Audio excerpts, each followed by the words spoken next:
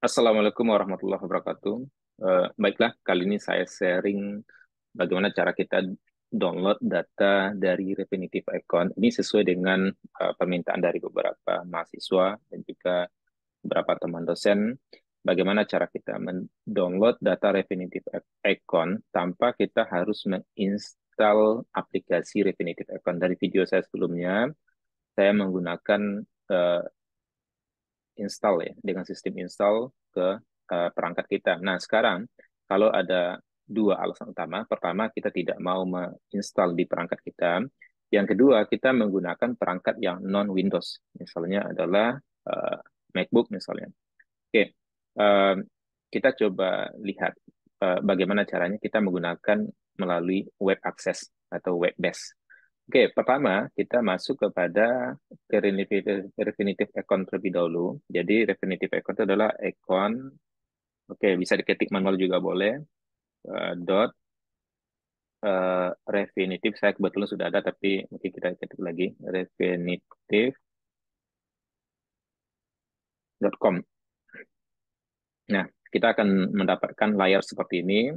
Nah, ini agak lumayan cepat karena saya mencoba membuat video ini di pagi hari, jadi aksesnya relatif uh, setelah subuh relatif cepat. Karena yang perlu diingat adalah di Fakultas Ekonomi dan Bisnis ini khusus untuk saya berikan uh, apa uh, cara menggunakan akses ini adalah khusus untuk mahasiswa dan staf dari Fakultas Ekonomi dan Bisnis yang mau mengakses data pasar modal, data fundamental perusahaan melalui khususnya di sini adalah perusahaan-perusahaan publik yang listing di Bursa Efek Indonesia melalui database Refinitiv Econ. Oke, jadi eh, Fakultas Ekonomi dan Bisnis Universitas Andalas sudah berlangganan eh, database ini setiap tahun sudah mungkin lebih sudah hampir empat tahun berlangganan database ini. Jadi untuk password dan lain-lain silakan dikontak prodi masing-masing, program studi masing-masing karena ini sifatnya uh, private, uh, ini adalah kepemilikan uh, username dan password itu adalah uh, hak dari Fakultas Ekonomi Bisnis. Jadi yang perlu diingat juga yang lain itu adalah akses ini hanya bisa berlaku, hanya bisa dijalankan oleh satu user di, pada saat waktu yang bersamaan. Jadi kalau kita misalnya mengadakan pelatihan menggunakan ini, kita tidak bisa menggunakan secara bersamaan. Artinya ini hanya bisa digunakan dengan satu akun yang yang kita miliki. Jadi ketika kita menggunakan ini, yang lain juga menggunakan, kemungkinan kita akan terlempar. Jadi apa yang harus kita lakukan? Mungkin kita bisa, kalau kita sangat membutuhkan data, mungkin kita bisa aksesnya agak sedikit malam atau mungkin di pagi hari setelah subuh atau sebelum subuh misalnya itu relatif pertama mungkin koneksi internet lebih cepat karena definitif account sangat membutuhkan uh, speed internet yang relatif cepat yang cukup cepat oke okay. Kita masuk berikutnya ke di sini. Setelah pilihan ini muncul, ada berbagai macam pilihan. ini saya menggunakan perangkat MacBook, uh, di mana saya gunakan Firefox ini. Jadi mungkin bisa juga digunakan yang lainnya, Microsoft Edge, kita juga Safari. Kalau Safari dengan uh, eh, OS yang baru, oke, okay, OS yang baru kita bisa uh, membuat doc. Ini saya bikin doc sendiri di sini, icon itu dari Safari. Kalau saya klik ini, itu nanti akan muncul seperti ini. Langsung ini kebetulan saya sudah dalam kondisi terbuka tadi, akan muncul di misi doc. Oke. Jadi kalau saya ini saya tutup, kalau kita di perangkat Safari kita bisa bikin doc tersendiri sini. Jadi otomatis kita relatif lebih mudah untuk yang khusus ya web akses ini tadi. Jadi kita tinggal klik yang sudah saya bikin doc ini. Nah, doc ini sangat mudah sekali sebenarnya. Jadi, bagaimana cara kita bikin doc? Khusus yang di Safari ya. Di Safari itu adalah kita tinggal uh, ya kalau kita buka Safari nanti akan di file Excel nanti kita tinggal bikin uh, apa uh, bikin doc di sini. Ya, kita tinggal oke, okay, sekarang kita fokus dulu ke yang uh, di Firefox yang saya gunakan tadi. Nah, langkah kita selanjutnya adalah kita masuk kepada sign in dan download. Setelah sign in dan download, akan muncul di sini ada software license. Nah, kita accept, I accept. Kemudian kita pilih negara. Oke, Indonesia. Kemudian muncullah menu seperti ini. Ada pilihan seperti ini. Download atau account web access. kalau kita download, itu seperti yang video yang saya tampilkan sebelumnya. Kita download, kita bisa install, dan kita bisa menggunakan mengakses data keuangan, data pasar modal, data fundamental perusahaan itu melalui aplikasi yang sudah terinstall nantinya. Nah, tapi yang perlu diingat, ini formatnya adalah hanya exe. Nah, kalau hanya exe, tentunya hanya bisa dipergunakan untuk perangkat Windows. Bagaimana kalau uh, dari perangkat non-Windows seperti MacBook? Nah, kita bisa menggunakan Econ atau juga dari perangkat Windows yang kita tidak ingin menginstal gitu. Yang kita tidak ingin capek menginstal program ini di uh, aplikasi ini di dalam perangkat kita. Yang kita bisa lakukan adalah kita bisa kapan pun mengakses dengan proses Econ Web Access ini. Tapi Econ Web Access ini tadi tentunya kita akan memulai tahap-tahap seperti tadi lagi. Oke, kecuali di apa kita bisa lakukan uh, seperti icon yang saya sudah bikin di dalam doc ini untuk uh, yang di MacBook uh, yang OS terbaru ya. Kita bisa langsung dia akan langsung mengantarkan kita ke halaman untuk kita sign in tadi. Oke.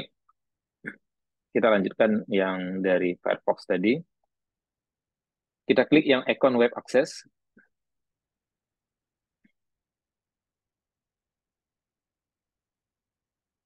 Oke, ini muncullah data-data kita. Nah, kita langsung aja ke fasilitas yang paling banyak dibutuhkan oleh mahasiswa, baik itu mahasiswa S1, S2, dan S3 untuk kebutuhan skripsi, tesis, dan disertasi. Itu adalah di screener. Nah, nanti kita coba di screener dulu nanti kalau ada waktu kita coba juga masuk kepada fungsi-fungsi yang lain. Oke, screener Nah, kita coba masuk melihat data perusahaan Indonesia. Oke, di sini kebetulan sudah IDR, karena sebelumnya saya sudah gunakan juga. Nah, kalau misalnya Bapak Ibu menggunakan data lintas negara, tentunya harus kita punya standar mata uang yang sama gitu. Apakah nanti biasanya pada umum mungkin US dollar, kita ganti ke US dollar, kita mau ambil data dari uh, perusahaan publik yang ada di Malaysia, kemudian perusahaan publik yang ada di uh, Singapura, Indonesia dan lain. Nah, itu nanti kita bisa masuk. Oke, kita coba yang lintas negara tadi lah. Kita mau coba ambil dengan gunakan currency US uh, dollar yang sama. Oke, kita nanti public company, kita ini pilihkan.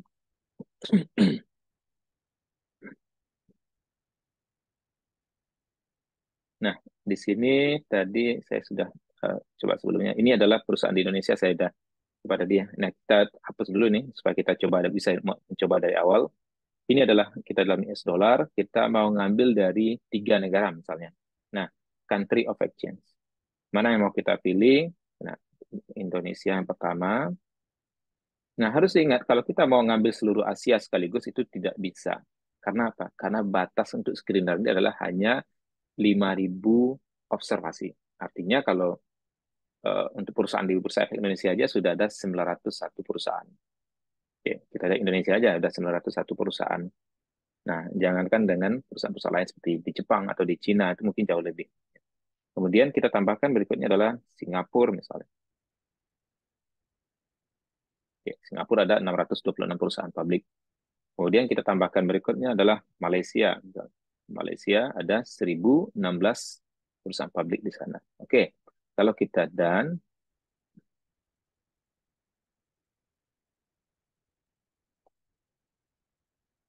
kita dapatkan nah inilah data di yang ada di tiga negara tadi di mana ada total berapa data oke okay, 2543 uh, perusahaan nah kalau kita mau urutkan berdasarkan negara boleh aja country of exchange. Dari nama juga boleh. Ini akan dari nama urut yang uh, abjad.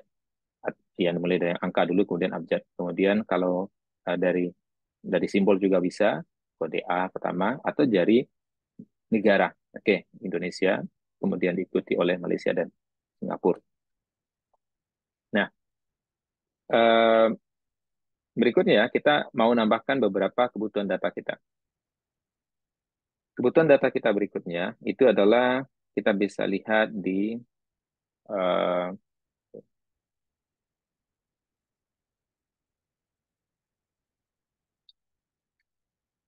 di add column. Add column itu adalah kita mau butuh data apa. Nah, misalnya kita mau lihat data persen plotnya. Di sini kebetulan sudah ada karena sudah saya gunakan sebelumnya.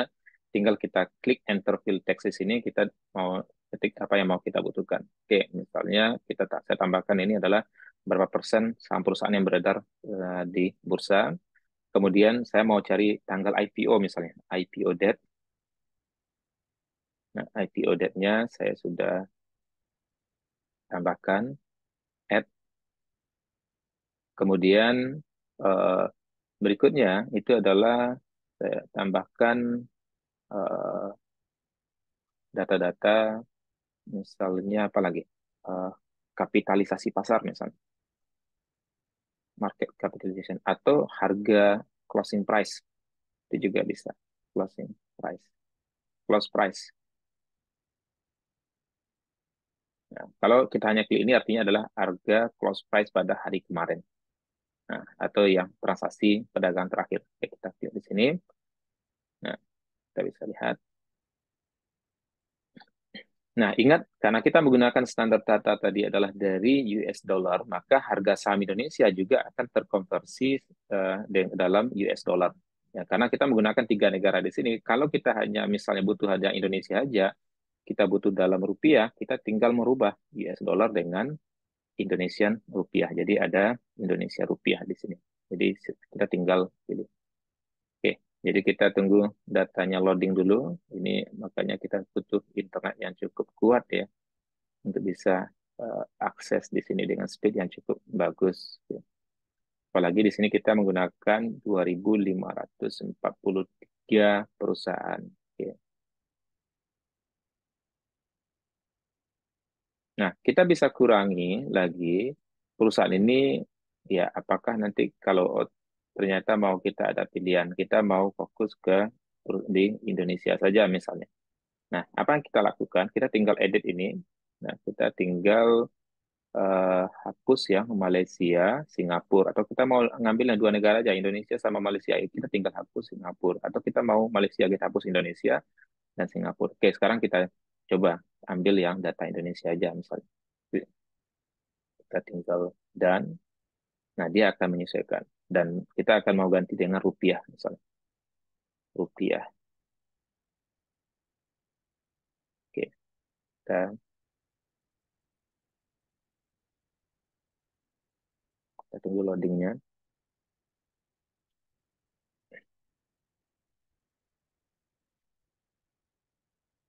Nah, seperti saya katakan tadi, ini sangat tergantung dari speed internet yang kita miliki.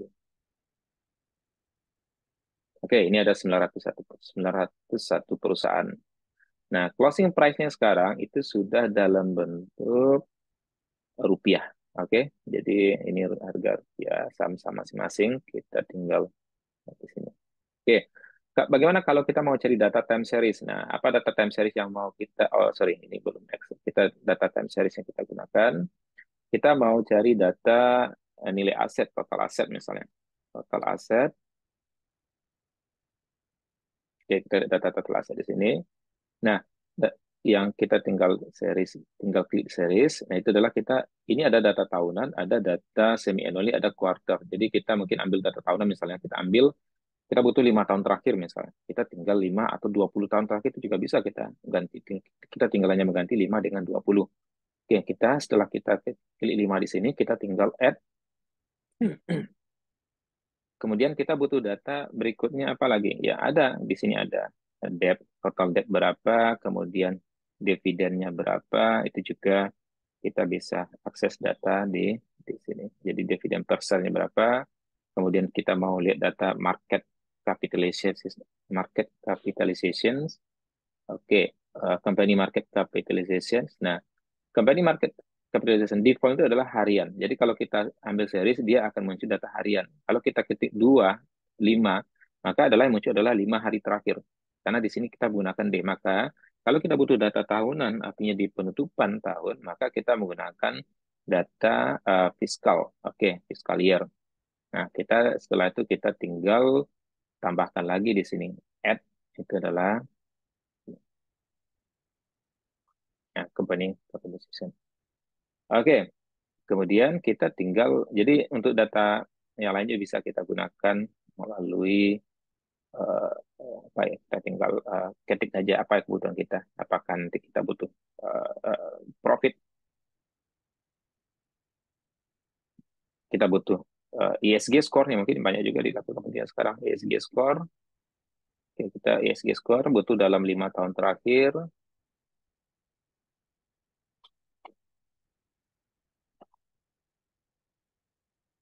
Oke, kita klik terakhir. Nah, atau kita bisa, kalau kita mungkin bisa dipelajari apa saja masing-masing pilihan yang ada di sini. Ada corporate exchange, ada deals, ada environmental. Jadi kita lihat masing-masing exchange ada jumlah saham, nominal value dari saham, kemudian ada beberapa deals di sini, isu, ada deal event, ada environmental score. Nah, itu nanti mungkin kita bisa lihat kalau environmental kita bisa lihat beberapa masing-masing dari item sub dari environmental tadi, ESG tadi itu adalah resources use, emission. Kalau sosialnya ada subnya itu adalah workforce, human right. Nah, kalau kita langsung pilih di situ jauh lebih bisa dipatkan. Jadi kita bisa melihat uh, workforce score-nya, nanti bisa kita lihat di uh, kita coba cari di bawah nanti. Jadi ketika kita ketemu skor, kita tinggal kita mau series berapa tahun yang kita bisa gunakan untuk data yang kita butuhkan. Oke, kemudian kita ambil aja dulu tiga, tiga ini, kita oke, okay.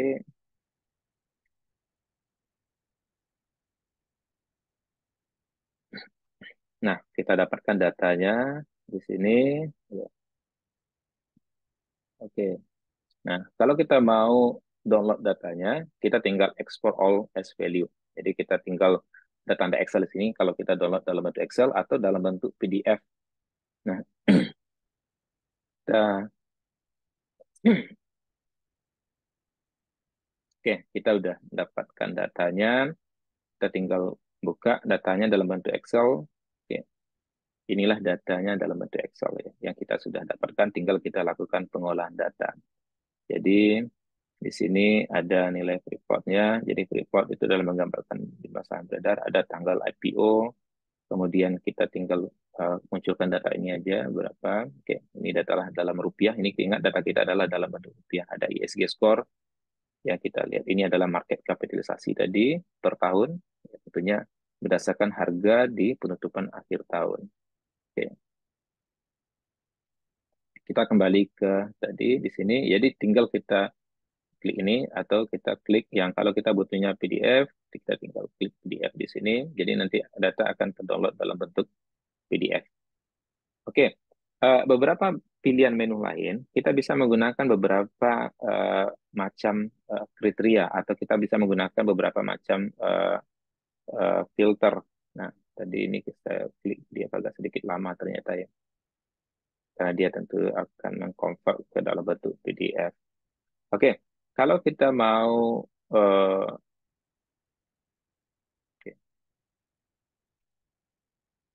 Jadi ini adalah kalau kita klik masing-masing itu adalah berdasarkan urutan, berdasarkan urutan nama, ini objek. Kita mau urut dari IPO yang uh, paling lama itu adalah perusahaan yang paling awal di sini adalah dari Century Textile Industry, Tivico, Goodyear, Merck, Multibintang. Oke. Nah, kita mau menambahkan filter lain. Apa misalnya? Kita mau menambahkan hanya menampilkan perusahaan-perusahaan yang memiliki ESG value aja.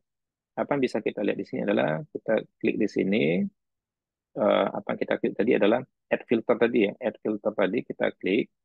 Kita klik di sini adalah uh, eh, ESG saja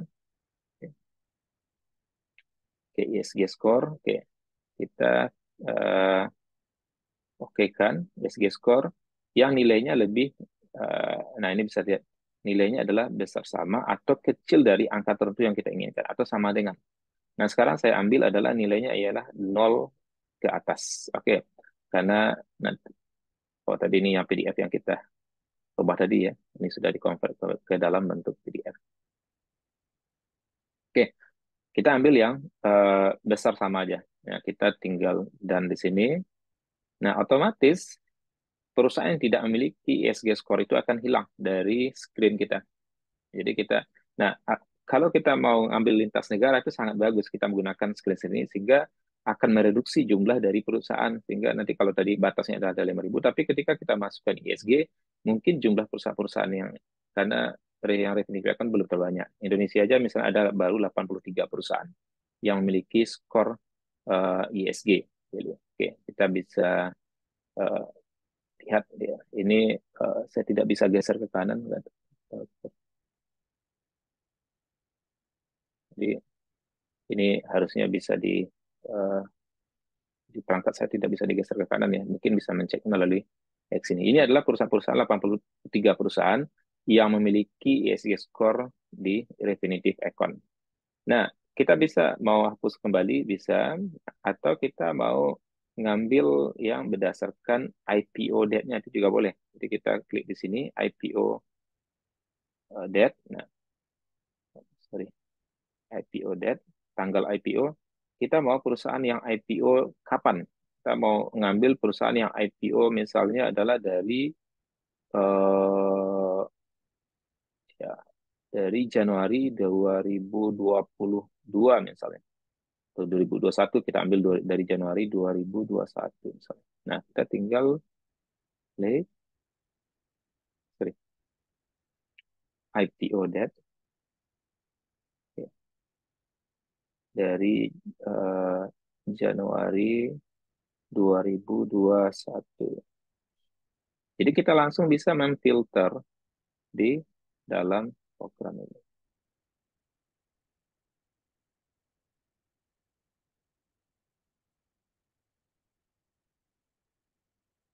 Oke, dari tanggal 1. Oke. Dari tanggal 1 Januari. Nah, kita done. Oke, harusnya ini kita hapus dulu nih yang uh, eh, ISG. Karena mungkin perusahaannya oh sorry, ini saya kita harus cek nih. Ini tadi sama dengan ya harusnya adalah lebih besar ya. Setelah on or after tadi kalau yang mungkin tanggal 1 Januari jelas hari libur nasional tentunya tidak ada perusahaan yang uh, listing atau IPO di tanggal 1 Januari. Oke, kita maunya itu adalah setelah tanggal 1. Oke. Baru nanti akan muncul perusahaan-perusahaan yang listing atau IPO setelah tanggal 1 Januari. Nah, kita bisa lihat ini kan tanggal 4 Januari. Kalau kita mau urut semua, itu adalah dari 4 Januari 6. Oke. Ada 178 perusahaan yang listing pasca COVID. Yang atau mulai dari 1 Januari 2021.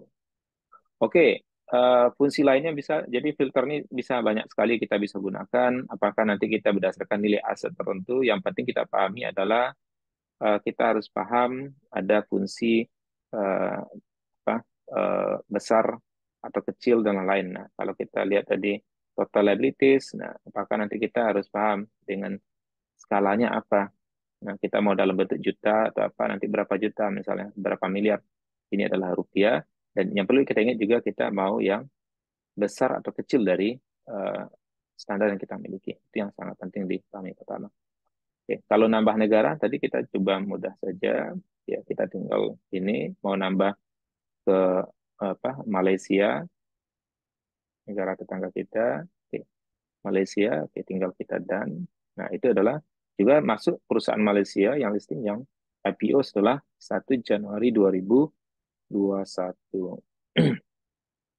oke Berikutnya, saya akan langsung aja masuk kepada fungsi lain yang ini nih loadingnya agak lama karena kita masukkan dua negara. Nah, kita langsung uh, coba lihat apa fungsi lainnya. Di sini ada kita kembali ke home. Kalau kita mau